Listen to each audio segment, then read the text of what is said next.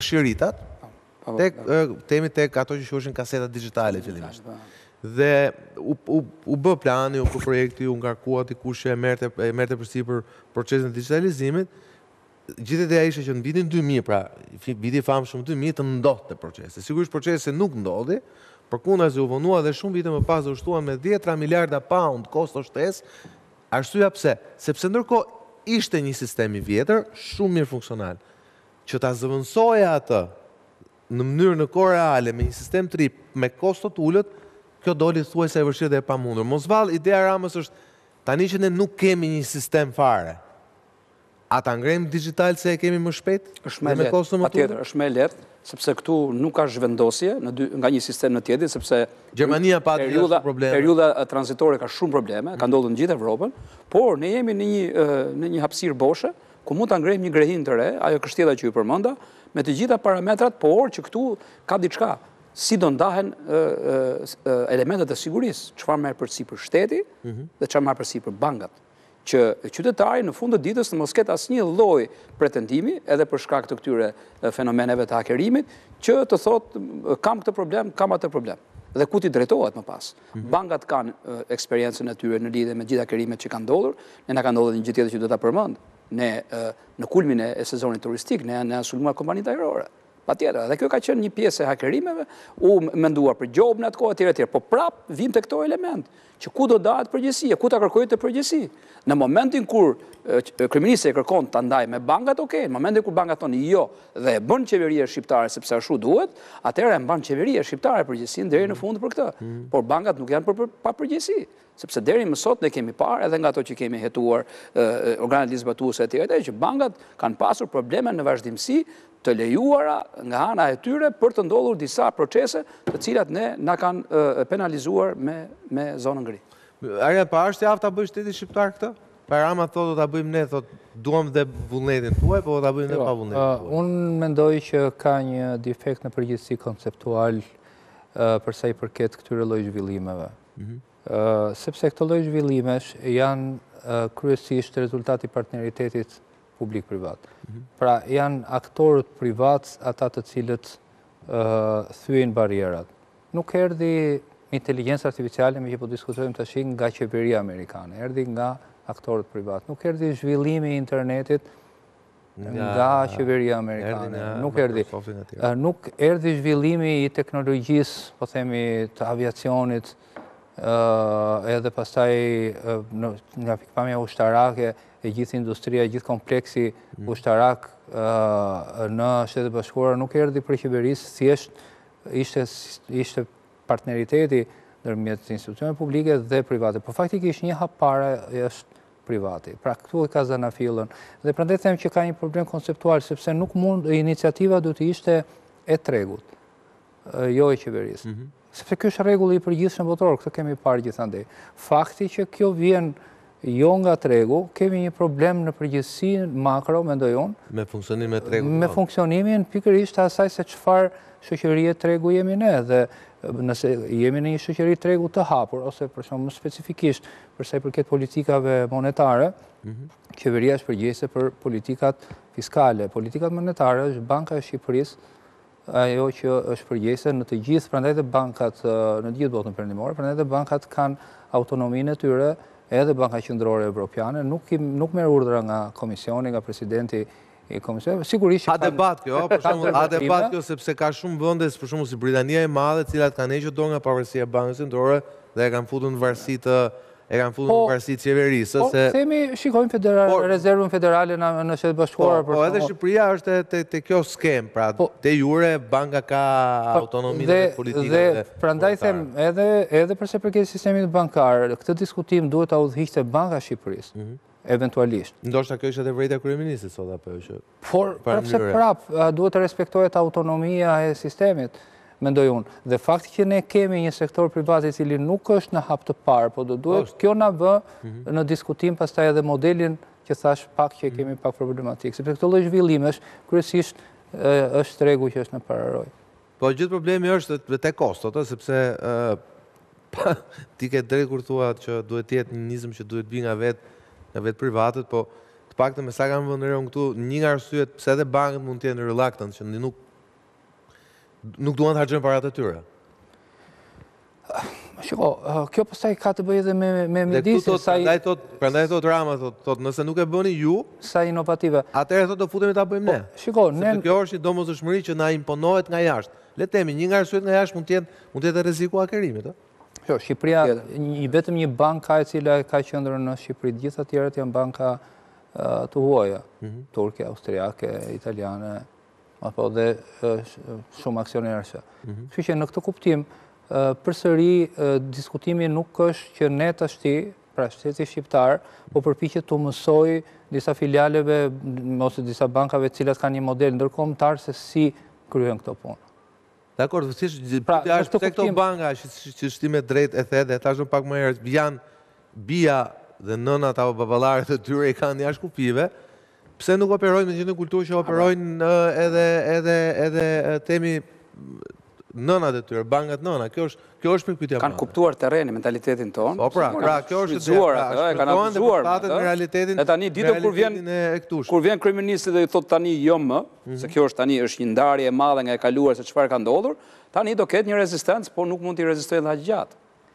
Sigurisht, ngelet për t'u parë, thashë është një diskutim i cili Për mendimin tim, parimisht do duhej që të udhëhiqej nga tregu, do duhej që do duhej që qeveria të shikonte kush janë faktorët pengues në mënyrë të tillë që të krijonte incentivat që ky lloj rregullimi të vinte nga nga vetë bankat, në mënyrë të tillë që ato të rreshtoheshin, pra të harmonizoheshin pikërisht edhe me filialet e tyre, po edhe me me bankat e tjera konkurruese në vendet e që nga momenti që ne do kemi më shumë turistë Pra që ose që Shqipëria sa vjen dhe hapet, sigurisht që dhe njerëzit do duan shërbime më të shpejta, dhe kjo është një element tjetër që banka, por nga ana tjetër, siguria është ajo që njerëzit i preokupon më shumë. Po, siguria nuk jepet dot me urdhër, mendoj unë, kjo është problemi. Patjetër, për plus, themi situata, bëhet edhe më e ndërlikuar, pasi nëse vendet perëndimore, ose me mentalitet perëndimor, ku themi me zor, po po po futet edhe Shqipëria, tentojnë t'ia lënë tregut, tentojnë t'ia lënë rregullatorit të lirë dhe apo bashkëpunimit me privatët, vende të tjera si Kina, si Rusia, janë si Koreja e Veriut, diçka më distante, janë kthyer tashmë në një rrezik. Pse? Sepse kanë fondet e tyre, fondet shtetërore të cilat investohen në këtë luftë kibernetike, e cila duket që mund mos ketë kosto njerëz, por ka kosto të larta, shumë të larta, financiare dhe sigurisë. Jo më larg ë se sot FBI-ja ka paralajmëruar botën për rrezikun që vjen nga Kina. Ndjekim materialin. Drejtori i FBI-së amerikane, Christopher Wray, dëshmoi nën betim përballë Kongresit këtë të mërkurë pasi dorëzoi një raport ku tregohej se hakerat kinezë, që punojnë për qeverinë në Pekin, synojnë të godasin disa sisteme elektronike të Shteteve të Bashkuara të Amerikës, që lidhen kryesisht me shërbime si transporti. Ujësjellësat dhe energjia elektrike. Përballë ligjvënësve në Kongres, drejtori i FBI-së deklaroi se hakerat kinezë po bëhen gati të shkaktojnë kërdinë në Uashington me sulmet e tyre kibernetike dhe synojnë gjithashtu që të dëmtojnë botën. Ka pasur shumë pak fokus publik në faktin se hakerat e Partisë Komuniste Kineze po synojnë infrastrukturën tonë kritike. Impiantet tona të trajtimit të ujit, rrjetin tonë elektrik, tubacionet tona të naftës dhe gazin natyror, sistemet tona të transportit dhe rrezikun që paraqet diçka e tillë për çdo qytetar amerikan. Hakerat e Kinës po pozicionohen në infrastrukturën amerikane në përpjekje për të shkaktuar kërdinë dhe për të shkaktuar dëme në botën reale. Ata nuk kanë vetëm objektiva politike dhe ushtarake. Në seancën dëgjimore të kësaj të mërkure përballë Kongresit dëshmoi jo vetëm drejtori i FBI-së, por edhe punonjës të tjerë nga Departamenti Amerikan i Drejtësisë, të cilët kanë shprehur edhe më parë shqetësimin e tyre mbi këtë çështje. Fokusi i kësaj seance dëgjimore nuk ishte i ndërlidhur me ndërhyrjen kibernetike dhe sulmet që hakerat kinezë mund të kryejnë në sistemin elektronik zgjedhor sa i përket zgjedhjeve presidenciale të nëntorit.